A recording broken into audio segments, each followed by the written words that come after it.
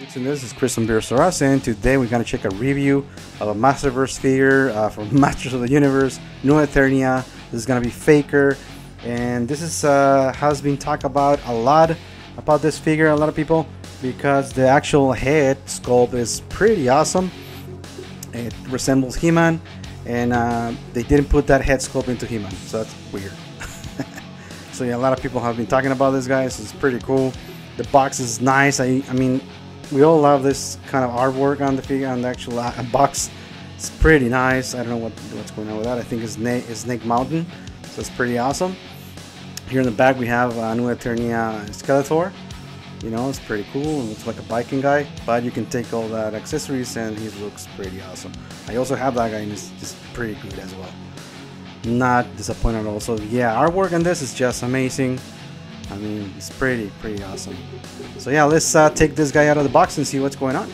So here we have a Faker out of the packaging and it looks pretty dope, pretty cool. All those type of blues. I mean, I thought uh, at the beginning that it was just gonna be like solid blue uh, plastic on him. And no, it's uh, different kinds of blue shading going on. I think maybe it's plastic, blue plastic, and then they put some green shading other blues on it. It looks pretty, pretty dope. So yeah, all those blues are looking pretty cool, pretty dope, and especially the head sculpt, right? That uh, everybody's talking about this head sculpt. That is the best uh, human head sculpt that uh, this line has. So yeah, head sculpt pretty, pretty nice. Also uh, has nice uh, shading on it as well as the body. So looks pretty dope. Uh, also the actual uh, hair is painted as well. It's not just plastic brown. It has some uh, wash of uh, other kind of uh, brown maybe. It's kind of cool. And of course the chest piece is pretty dope as well. Very reminiscent of the uh, Bente. I think this is from a comic line. You know, the look, I don't know. but it's pretty dope.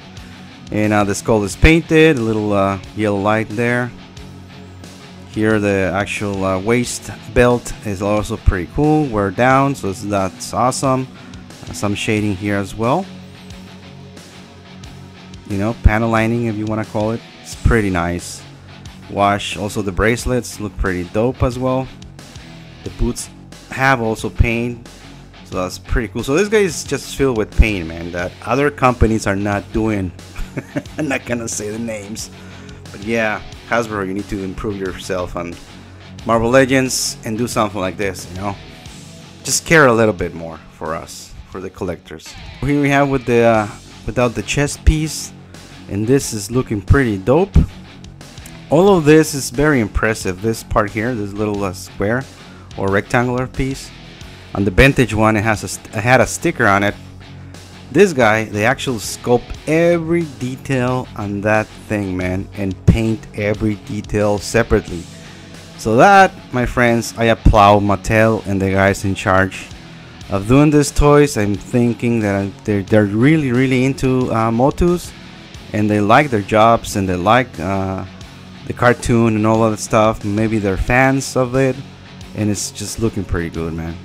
I mean, not just that part, I mean, the entire figure has paint on it.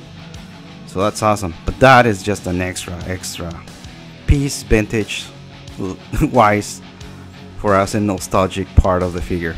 The shoulders has a little bit of a paint up here, uh, silver, you know. So you can understand that he is not the original He-Man. I'm gonna talk about that uh, as well in a moment. And uh, here we have another uh, piece here. I don't know what that is for. Most likely in a cartoon is meant for something. I don't remember. But uh, it's another piece um, that differs from He-Man and the entire mold is completely different. I thought for a moment that it was going to be the same as He-Man's, but no, I don't know if it's the paint that makes it look different, but He-Man is like uh, very ripped, you know, all the muscles are there, and this guy looks like it's made of a clay, not very tuned muscles, like he wants to be like He-Man, but it, he doesn't, so that's why he's faker, right?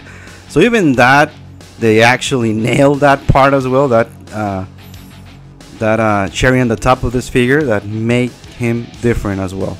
Not the same mold. They can use the same mold as He-Man, but they didn't. So that's awesome. That's great, man. Great figure. Also comes with other two hands, you know, a fisted hand and a relaxed hand, you know. But uh, that's it. You can actually pose like this, you clever in time. Even though he doesn't have a butterfly joint, you can actually do this pose. So that's pretty cool. And uh, you can also hold the sword with the two hands. Let me try that. Hold on. So yeah, he can actually do the Conan pose with the two hands. And again, no butterfly, but uh, the long arms and articulation helps him on doing this uh, this pose. So that's pretty cool. And uh, also the sword is different. I thought it was gonna be the same, just the molded uh, power sword.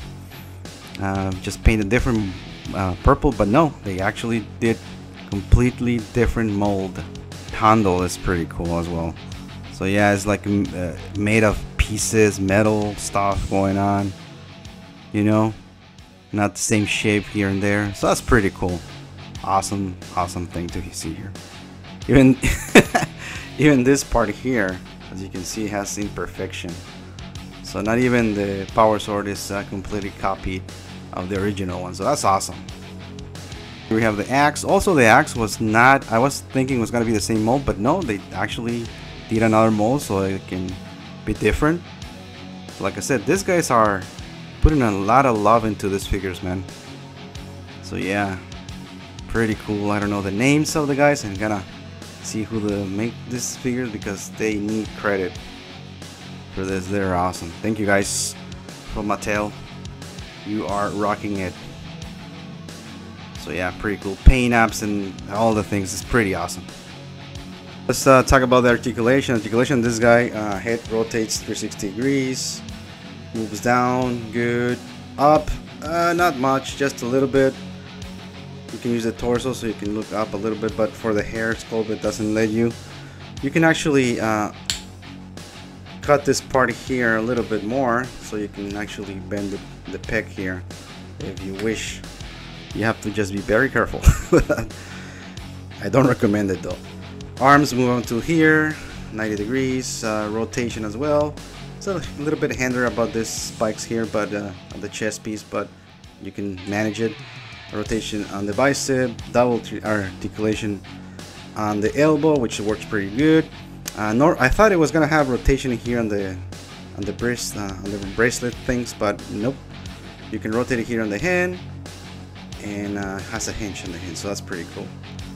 Now on the diaphragm, you can move it down a little bit back more but it has a little uh, hollowness here sideways it's pretty cool and you can also completely rotate it so that's awesome you can rotate the waist as well which is cool the hips you can almost do the Van Damme with no problem you can the leg front like until here back until here because of the butt cheeks rotation on the thigh, double articulation on the knee, which works pretty cool.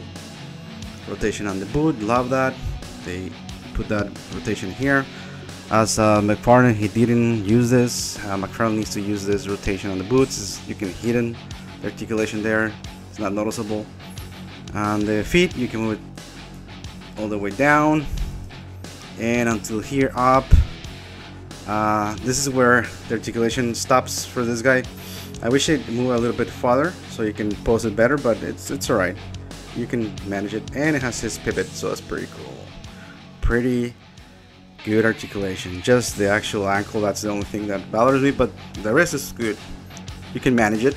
Holster his sword on the back, you know, just no no space for the axe but you can manage that and he can hold the axe on the other hand so that's pretty cool also he can reach to grab the sword on the back so that's awesome so yeah pretty badass figure here alright guys well we're gonna end wrap up this uh, video here so this is a great figure I cannot recommend him enough it's really awesome articulation wise is great it's functional you're gonna have a couple of flaws here and there but it works at the end and it works well so cannot be disappointed with this guy. I cannot recommend it enough again.